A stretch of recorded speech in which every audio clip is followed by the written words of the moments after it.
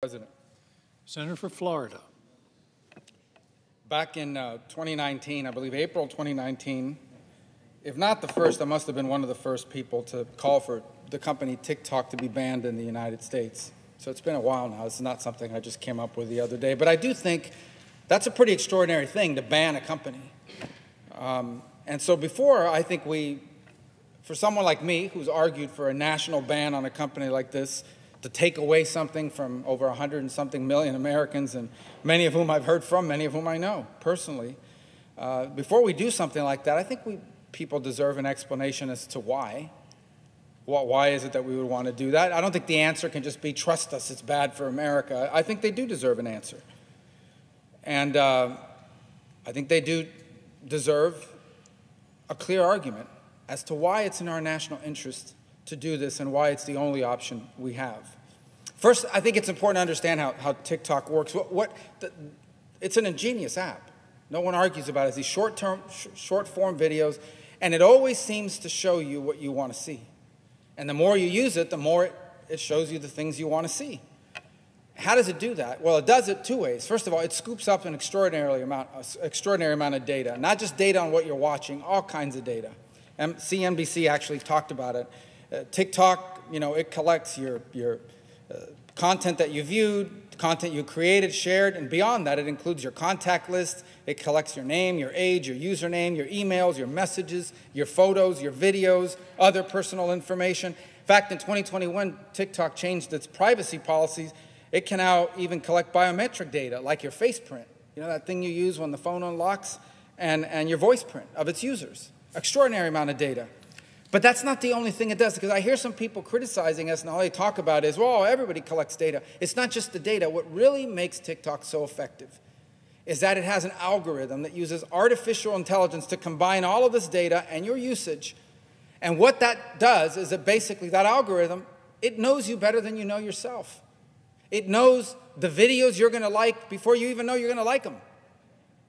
And, and it it's an extraordinary power behind this. It's what they call a recommender engine. We're going to call it an algorithm. It's a predictor.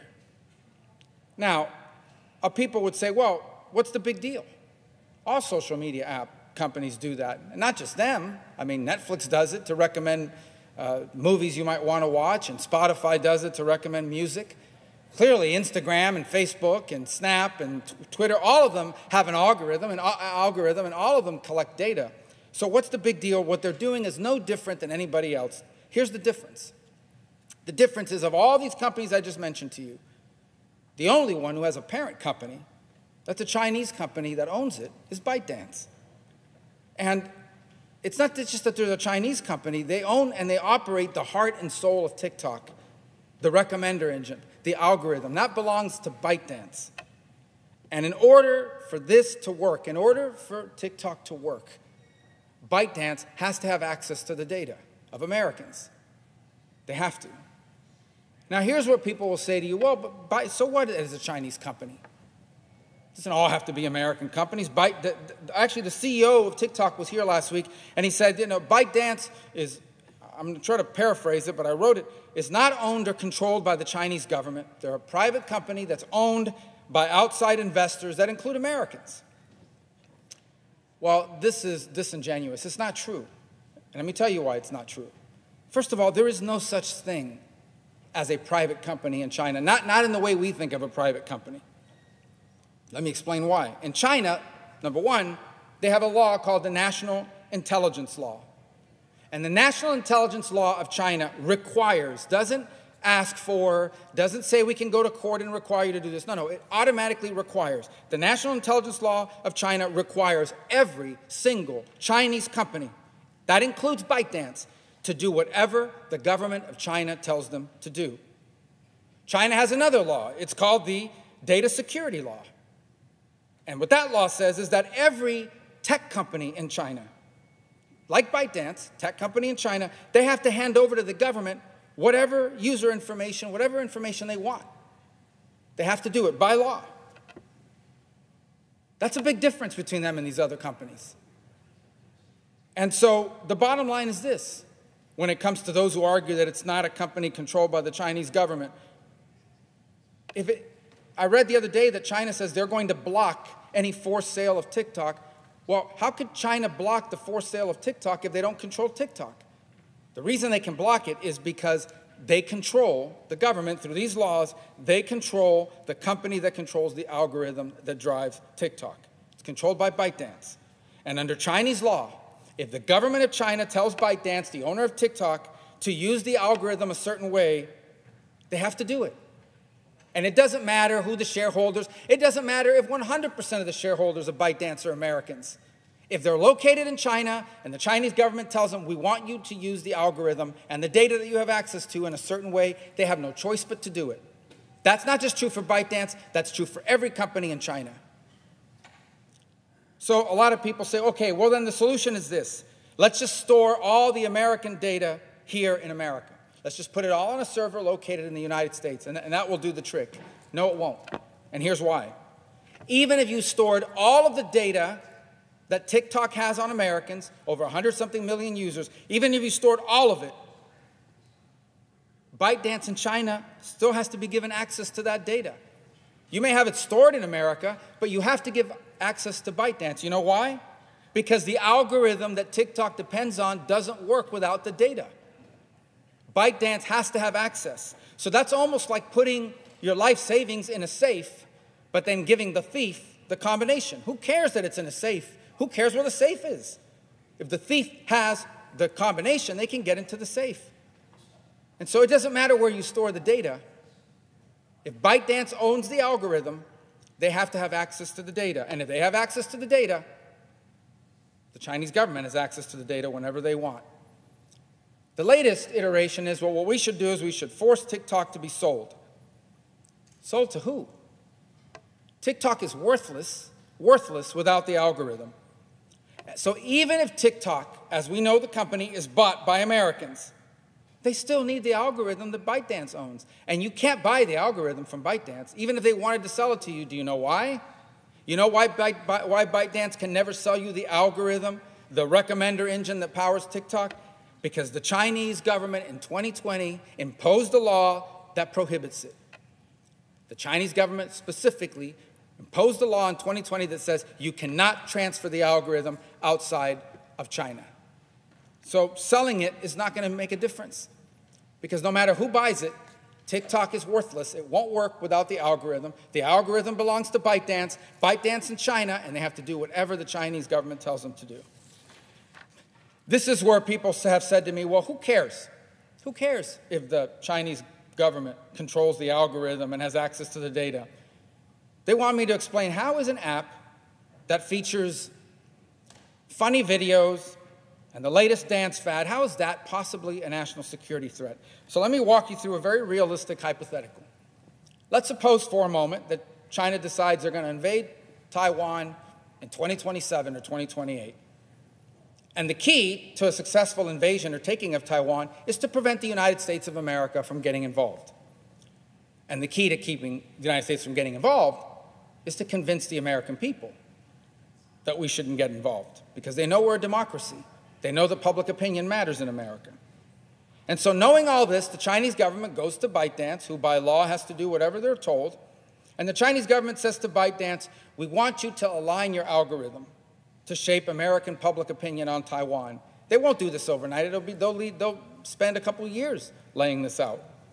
We want you to align your algorithm to make sure that people in America are seeing messages that convince them that America should not get involved. And not only that, we want you to use the data to target specific American audiences with specific messages. So, for example, some Americans might see a bunch of videos that alleged to show people in Taiwan, probably fake, but nonetheless people in Taiwan supporting a Chinese takeover. Maybe family members. Remember, they have all this data on us. Family members of military uh, members would see videos about how thousands of Americans will die if the United States gets involved. Others might see videos of Americans, or who they think are Americans, arguing why do we care about Taiwan? We should be focused on our problems here at home. And when we notice that they're doing something about it, That's what people will say. Well, if that happens, then you deal with it. Well, once we notice that they're actually doing and we try to do something about it, you know what comes next? Here's what comes next. What's already happening now. You're going to have a bunch of small businesses in America who depend on marketing and TikTok. And I don't let me tell you something, I don't I don't diminish that. It's true. I know people that have built up their businesses and they use TikTok for marketing and it works. It's better than the other apps for that. But just imagine when we go to them and say, guys, we got to shut TikTok down now because now it's real. Now they're using it against us. Those people are going to come out and say, you're going to destroy my business. In fact, China will probably threaten those people. China will probably make it very clear the US gets involved, we're going to knock all the Americans off of TikTok, down goes your business.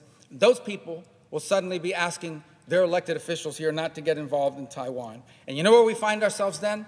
Paralyzed a country that's paralyzed, that cannot act in its own national security interests, because we've allowed an adversary to basically use an app that they control and the data that they control to shape public opinion in America over an extended period of time, and we can't do anything about it. Now, here's where some people will say, well, it's a violation of the First Amendment, free country. I agree. You have a right to speak. I don't agree that it's a violation of the First Amendment. I agree that you have a right to speak and say anything you want in America. This is not about the content of the videos. What this is about is the existence of a company that is related to, a, to an important government interest. What is that government interest? It's not just a substantial government interest, it is the most important government interest that we have the national security of our country and preventing our country from being paralyzed, from acting in its national security interest, is the most compelling and important government interest one can imagine. Now, people say, well, this is all hypothetical. There's no evidence the Chinese government is doing any of this. Well, let me first start by saying that every threat to our national security begins as theoretical before they become reality. For example, China is building hypersonic missiles designed to sink our ships. They're not firing them at our ships today. They're not sinking our ships. They're not even threatening to sink our ships openly. But yet somehow everybody around here agrees we got to do something about the hypersonics, but they're not doing it now. It's theoretical, right? Russia's never not launched nuclear missiles against the United States, but we spend a lot of money every year on NORAD, on monitoring our skies, on making sure that we're not being attacked. It's a theoretical threat, but one we've taken seriously for 70 years. Second, What's so theoretical about using propaganda during a time of war? There's nothing theoretical about propaganda during warfare and conflict. In fact, propaganda has been a weapon that's been used in virtually every conflict for centuries to demoralize and to divide your adversary. Third, this is not just theoretical. We've actually seen TikTok, TikTok be used to drive messages and to undermine opponents. It was used by to spread pro Russian messages during the invasion of Ukraine. It's been used to suppress videos talking about Tiananmen Square, the genocide of Uyghur Muslims in China. It's already being used to censor all kinds of, in fact, it was used, it was used to control content and limit content about our elections in this country in 2022. It goes more, I can go further than that. ByteDance has already been used. ByteDance China has already been used to collect data on specific reporters whose stories ByteDance didn't like. So they used it to track the location of these reporters. Where are they? Who are they talking to? And in fact, here in America, here in America, TikTok was caught, was caught spying on American journalists who were writing stories that TikTok didn't like. And TikTok denied it. It's not true, it's a lie. And then they had to admit it. So now it's, oh, we fired the people who did this. And now they're under Justice Department investigation. But here's the point I would say about this whole theoretical thing. If God forbid, and I say God forbid, I really do, because no one wishes for armed conflict with anyone. There's nothing good about war. If God forbid we are ever in a war with China, China will use cyber attacks to try to take down our electric grid. China will use space weapons to try to destroy the satellites we have in space. China will use these missiles to try to sink our ships and kill Americans. China will do all these things, but somehow we think they're incapable of using a social media app with 150, 200 million American users They would never use that against us. They'll sink our ships, they'll shoot down our satellites, they'll shut down our grid, but they would never use an app that they control. Come on. Of course they would. Look, let me, there's a lot more to say on this topic, and this is one we should debate and talk about. It's a big deal. Take this lightly. But I, I will say this you know, since 1991, America has been the whole sole superpower in the world. I would venture to guess that almost everyone who serves here did not serve in government at a time when America had a near peer adversary, for the most part. So I think we've generally, as a nation, certainly as a government, have forgotten what it's like to live in, in a world in which there's another country and another government that has almost as much power as we do. But after 30 years, that's where we are. That's where we stand right now. Whether we like it or not, we are in a near peer competition and, in many ways, a conflict with China for global influence, for the direction of the world. Two very different views of the planet. With the government of China, by the way. Because I always hear these people talk about, we have no problem. The Chinese people are the number one victims of the Chinese Communist Party on the planet. The number one victims of the Chinese Communist Party are the Chinese people. But their government is very simple, guys. They want to be the world's most powerful country, and they want to do it at our expense. And the consequences of that is that the world's most powerful country will be a nation that puts Uyghur Muslims in death camps, that is trying to destroy Tibetan culture, that had no problem massacring their own people in Tiananmen Square, that as we speak right now are probably arming the Russians to commit these atrocities in Ukraine, that don't believe in any of the things that we are here debating about free speech and the like. We are in a competition, and we are in a conflict, not, hopefully never an armed one, but nonetheless a conflict. And we have operating in our country an app, the fastest growing app, a social media app that has the most detailed personal data on over 100 million American users and growing, and are turning over the power for one day for them to use it to divide us, to paralyze us, to confuse us, to turn us against each other. Think of the damage that Russia did by putting bots, fake accounts on Twitter, and buying ads on Facebook. Can you imagine if Russia actually owned Facebook or Twitter? Not put ads, not put bots, actually controlled those companies, the damage it would have done to this country? Now imagine that in a country with an economy 50 times the size and 100 times more capability, because that's what we're facing here. It's not a game, and we should take it seriously. And if there is a way to deal with this that doesn't involve a ban or something drastic, I've always been open to that, but it doesn't exist because of the way this company is structured. And we better take it seriously. Or one day, 20, 30 years from now, people will look back and say, you guys should have taken it seriously. And we failed to do so, and we paid the price for it. We should act on it as soon as possible. We should ban TikTok because it's bad for America, it harms our country, and it's a danger to our future. I yield the floor. Madam President. The Senator